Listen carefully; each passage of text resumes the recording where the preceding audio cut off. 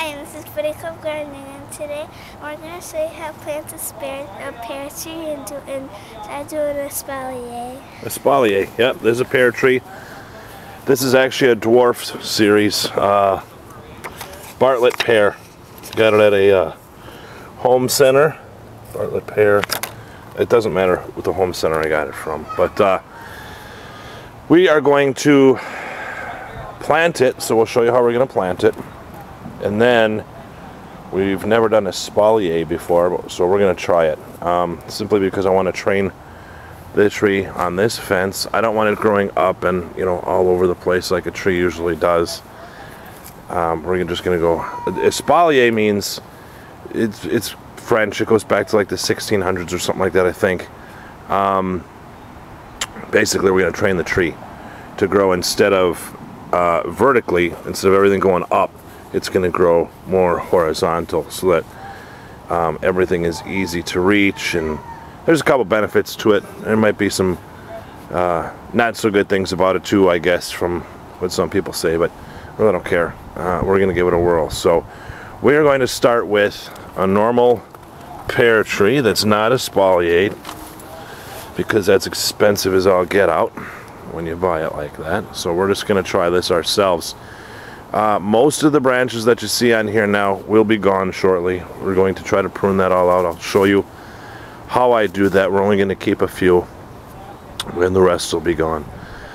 The first thing that we want to do, uh, that I'm going to do, is uh, dig my hole. Well, the first thing I did actually was select my location and uh, I chose to be right in front of, right between those two fence posts because that's going to help me when I have to run wires. I'll show you how to do that too so that the tree can go on it. Rachel, pretend you're the tree. Right there. Rachel's the tree. um, and then eventually what we'll do is put another one over on this other side here. I think where that lily is. Put another pear tree. So, you know, it, it's what I'm doing actually is being thought about for a change. Anyways, um, one thing I might have in the way is that's actually um, a hibiscus it's bush. Grow. It'll grow. It'll get probably I don't know this tall off the ground. I'm I'm showing you about three feet. I know it's hard for you to gauge that depth, but it we're about three dead, feet. So grow. we're gonna start that hole now. Um, I'm looking at my root ball. Uh, I'm going to go with the tree. I will probably leave this burlap on there, although I will pull these little nails that are holding it together out, and then I'll take a knife and probably cut some of this away. Because burlap is good. Burlap's not bad at all. Um, and so what we want to do is look at the uh, root ball here. it's about a foot wide.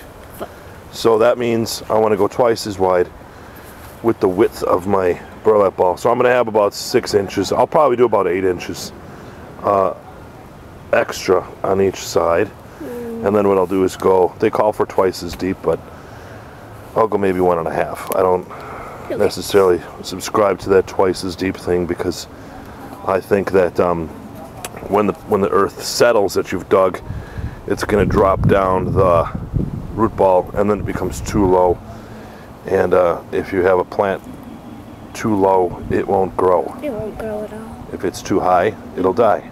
So uh, we're going to start that hole and I'll show you, well you don't need to see it being dug, uh, but we will show you afterwards just what I'm talking about. Okay, this is one of the benefits actually to having a kid that you can boss around.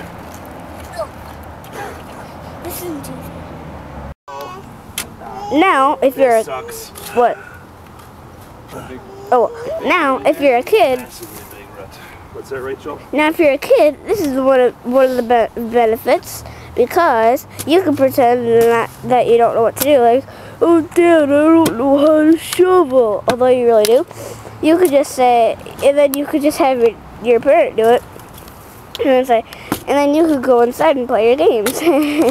That's just one of the awesome ideas. Okay, so our hole is dug, our plant is in there. What I'm going to do is cut some of the burlap off of the top here, off the top of the root ball. And This is also when you're going to want to select the best positioning for your plant, for your tree. Um, obviously we won't be able to turn it or move it once it's filled.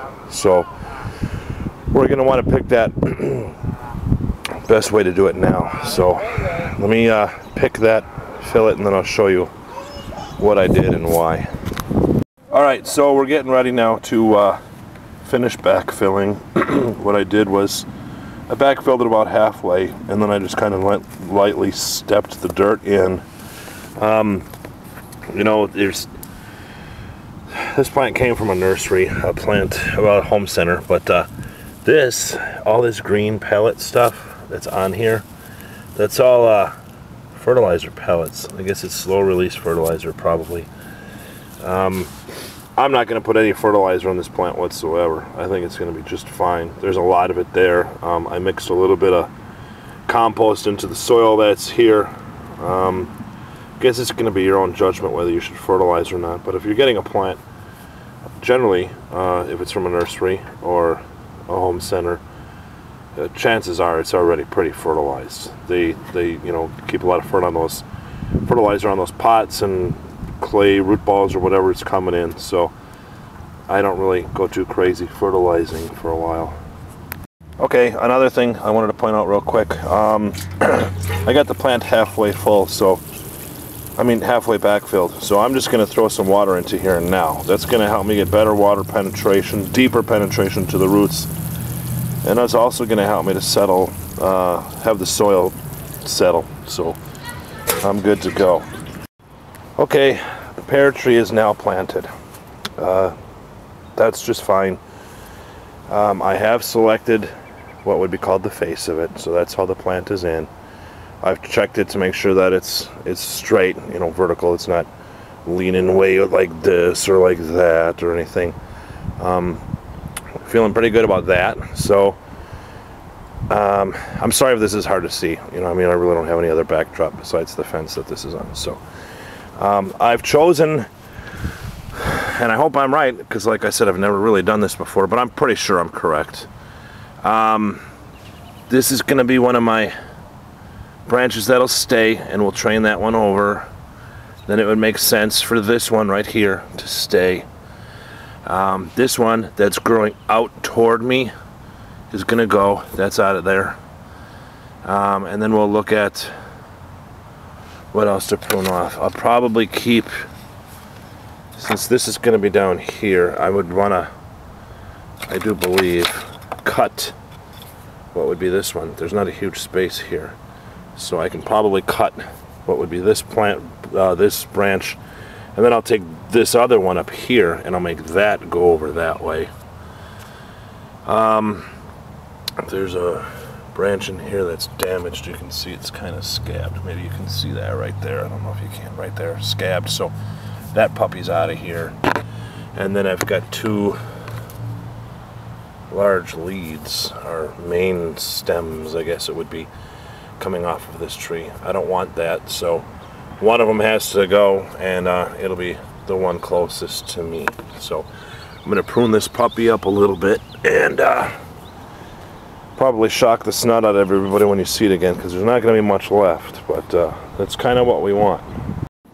Alright so we're done with our exfoliate project and here's what it should look like. Here's what it is. Yeah I know it's difficult to see but that's because this thing this tree isn't leafed out and uh, it's on a gray, gray cedar fence so of course it's hard to see but uh, what I did was I uh, kind of measured up, half measured anyways, from uh, the ground up to where the first stem was, and then I figured I, I tried to do a test bend to see where I would need to put my wire. So this is a 14 gauge galvanized wire, which I fastened to my fence post with, uh, it's like an eye hook, and then um, I just kind of wound the wire around there, and then uh, on the other end it has what's called a turnbuckle.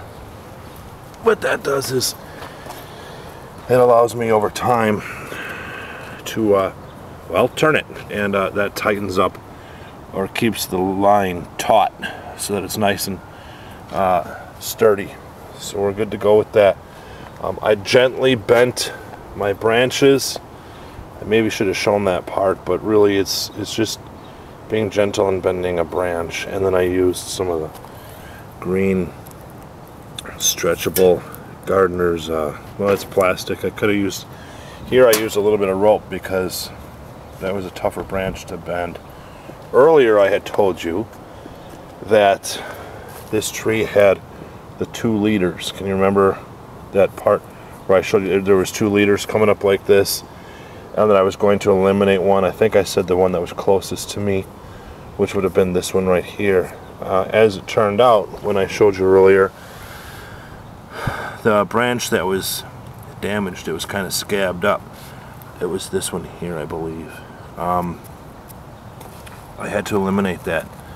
That would have left me with just one branch on this side of the plant and it would have been pretty off balance. So what I'm trying to do, I guess, is rebalance the plant and uh, save one branch that'll hopefully, uh, well that'll obviously increase my yield of fruit and so forth. So uh, we'll see what happens with that. I'm hoping that it doesn't take a whole bunch of the uh, tree's progress away as far as growing. So uh, we'll figure things out as we go along. But this is the project, how it came out. And uh, as I said, you know, I haven't done this before. I'm not an expert, but this is pretty much in tune with everything that I've seen online and everything that I've read um, from books and, and uh, other YouTube videos and um, whatever else I could find for information. So we're pretty good to go with that. One thing I did do, um, which I didn't mention, the tree was a little unstable and I wanted to pull it closer to the fence line. I didn't have another um, eye, so I just took some twine here and um, I pounded a nail into this piece of wood so um, I could kind of use that to anchor the tree. I probably don't need it now because these branches are all tied up to the wires but I used it earlier to kind of help me stabilize the tree. I'll leave it there for now um, and see if the tree's okay. If it doesn't shift then I'll then I'll get rid of it. Thanks again for watching.